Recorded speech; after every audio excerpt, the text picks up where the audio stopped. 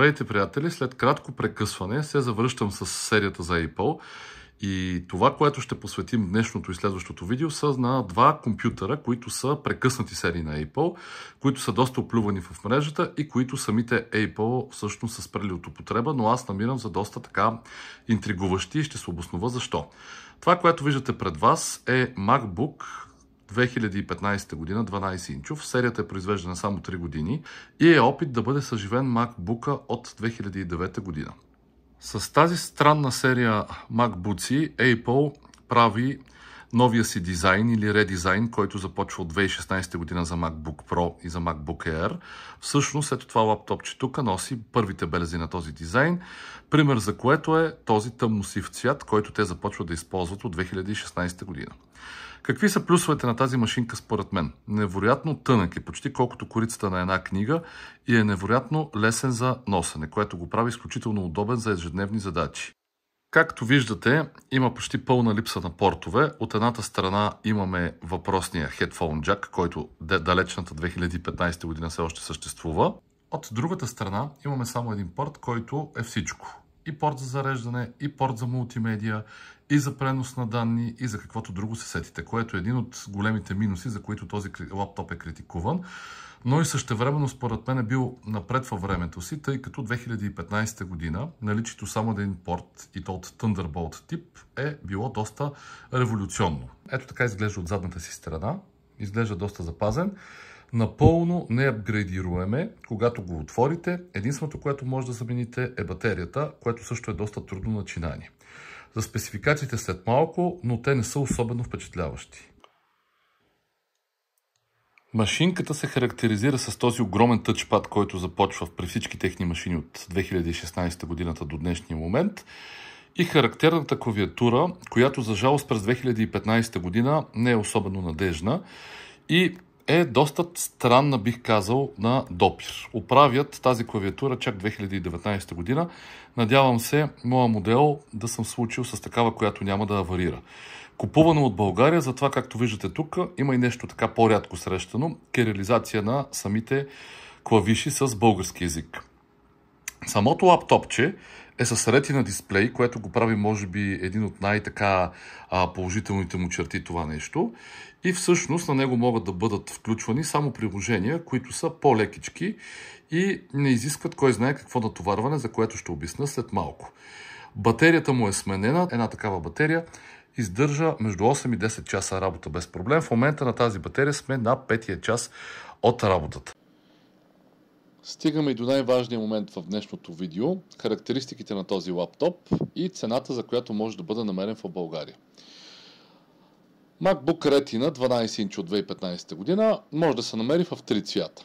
В сив, в Space Gray, т.е. това тъмно-сивото и в златен, който е така най-трудно намируем в България.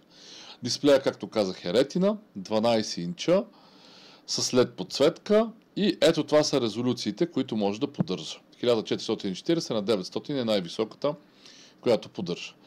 Сега, по отношение на процесор, нещата стават доста смешни. Модел от 2015 година има само 1,1 ГГц процесор с а, двойно ядро от предсаканата серия на Intel, или хайде да го кажем по-професионално, от ниския клас Intel Core M, което всъщност е доста така посредствен процесор. RAM паметта е вградена 8 ГБ DDR3 на 1600 МГц. Това имате и това получавате. Имаме две разновидности на хард диска. Те са 256 ГБ в този модел, който виждате.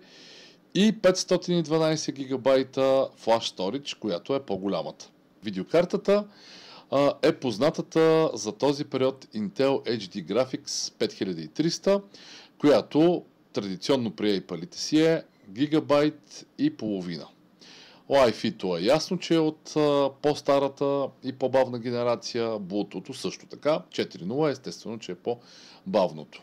Батерията до 9 часа в а, а, ровене в мрежата дават 10 часа iTunes или гледане на някакви видеа и 30 дни стендбай време, което всъщност не съм го пробвал дали е така.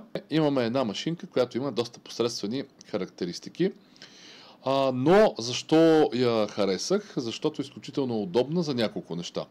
За браузване, за гледане на филми, за работа с програми като Word, Excel, PowerPoint, за работа с електронна почта и за всякакви такива ежедневни леки задачки.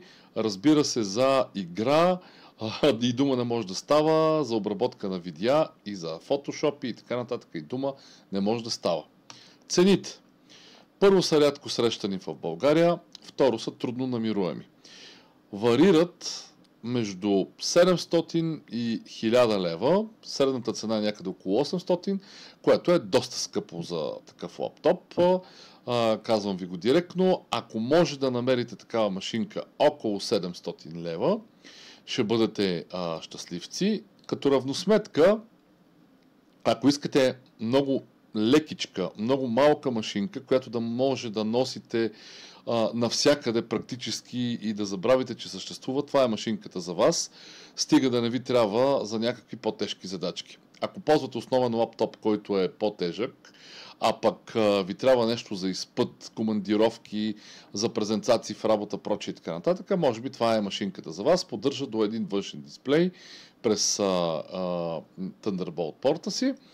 А, така че преценете. Ако намерите пък а, сделка, която е в Amazon, в eBay и е от сорта на 200-300 евро, хвърляйте се смело, със сигурност това вече ще бъде изгодна сделка. И разбира се най-големия плюс. В пъти по-ефтини са от турбата пари, които даваме за процесорите M1 и M2 в момента. Ужасно скъпи са, 5-6 хиляди лева. Има и коли на старо, както се казва. Така че това беше един различен поглед върху един различен мак, а, който на мен лично много ми допада и а, в а, ежедневието си, което е доста забързано, започнах да го използвам така честичко за тези ежедневни задачки. А, за тези от вас, които са като мен, може би това е машинката. Ами до следващото видео лайквайте, шервайте, сабскрайбвайте и следващия път ще си говорим за един също толкова екзотичен приятел. Чао от мене и до нови срещи!